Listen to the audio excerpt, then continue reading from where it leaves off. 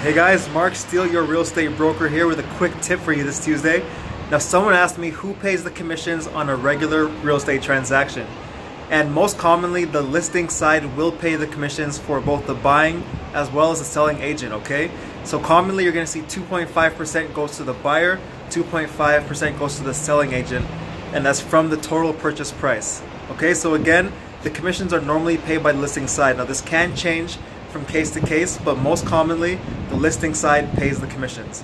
Hopefully that helps. If you're a buyer or you're looking to lease a property, you will not be paying commissions in most situations. If you have any questions, let me know. Mark Steele, your broker, and we'll talk to you soon. Bye for now.